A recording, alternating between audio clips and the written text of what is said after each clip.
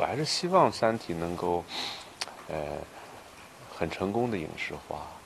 呃，因为如果《三体》能够成功影视化的话，它对我们的科幻电影也好，科幻电视各方面也好，都是一个很大的推动。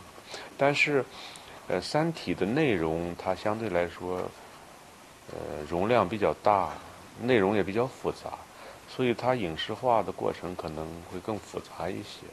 我觉得这个需要时间。呃，我举个例子吧，就是说。你比如世界科幻的那些名著，你像阿西莫夫的《基地》，影视化一直在做，到现在已经快五十年了。